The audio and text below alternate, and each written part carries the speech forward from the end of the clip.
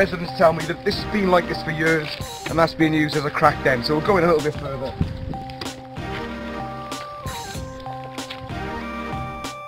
Neil McEvoy, Assembly Member, South Wales Central. Another empty property. Complete neglect in our communities. This is Ely in Cardiff West. It's unacceptable. Come and have a look at this. There's rubbish strewn everywhere.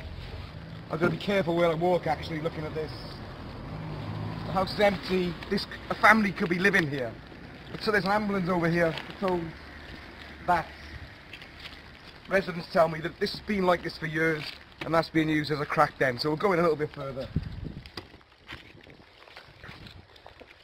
See if we can see anything.